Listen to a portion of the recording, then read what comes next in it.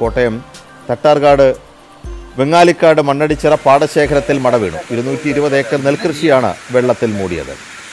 അതിനിടെ കോട്ടയം ഐമനത്ത് വയോധികൻ വെള്ളക്കെട്ടിൽ വീണ് മരിച്ചു എന്നൊരു വാർത്ത കൂടി വരുന്നുണ്ട്. നടരാജ് പരശുറാമാണ് രണ്ട് വാർത്തയുടെയും വിശദാംശങ്ങളുമായി ചേരുന്നത്. നടരാജ് ആദ്യം ഈ മടവീഴ്ച വലിയ നിരാശ കൃഷിനാശം അല്ലേ?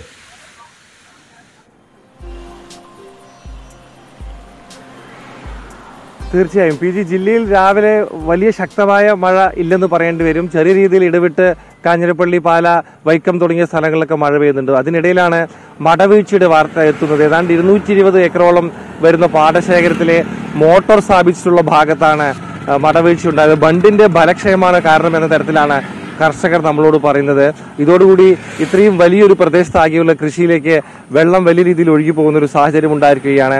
സ്വാഭാവികമായിട്ടും ആശങ്കയിലാണ് കർഷകർ സാധാരണ മഴക്കാലം എത്തുന്നതോടുകൂടി വിളവൊക്കെ നശിക്കുന്ന ഒരു സാഹചര്യമൊക്കെ ഉണ്ടാവാറുണ്ട്. എന്തായാലും അവരുടെ വലിയൊരു ആശങ്ക ഈ കാര്യത്തിൽ സംഭവിച്ചു എന്നുള്ളതാണ്. ഏറെ ദുരിതത്തിലായിരിക്കുകയാണ് കർഷകർ. മറ്റൊരു ദുഃഖകരമായൊരു വാർത്ത അയ്മനത്ത് നിന്നാണ് വരുന്നത്. അയ്മനത്ത് നിന്നും സാമ്പിക്കര ഭാനു എന്ന വൃദ്ധൻ ഇന്നലെ രാത്രിയോടുകൂടിയാണ് വെള്ളക്കെട്ടിൽ വീണ് മരിച്ചത്. അദ്ദേഹത്തിന് ശാരീരിക അസ്വാസ്ഥ്യങ്ങൾ ഉണ്ടായിരുന്നു. ഇതിനിടെ കന്നുകാലിക്ക് തീറ്റ നൽകാനും മറ്റുമായി തന്റെ വീടിനടുത്തുള്ള ഒരു പ്രദേശത്തേക്ക് അദ്ദേഹം പോവുകയായിരുന്നു. അവിടെ വെച്ച് ദേഹാസ്വാസ്ഥ്യം മറ്റും ഉണ്ടാവുകയും വെള്ളക്കെട്ടിൽ വീണ് മരിക്കുകയും ചെയ്യുകയായിരുന്നു. മൃതദേഹം കോട്ടയം മെഡിക്കൽ കോളേജിലേക്ക് മാറ്റിയിട്ടുണ്ട്.